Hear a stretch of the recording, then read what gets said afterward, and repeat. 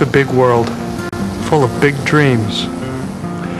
It's hard for any of us to imagine, but for most people around the world, even the most basic health problems can stand in the way of their dreams, their futures, and their lives.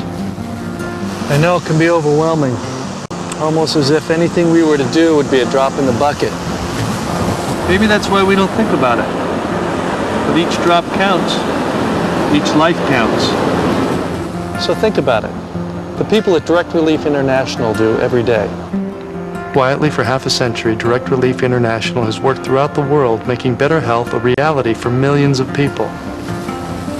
All of us share one dream, a better life for our children.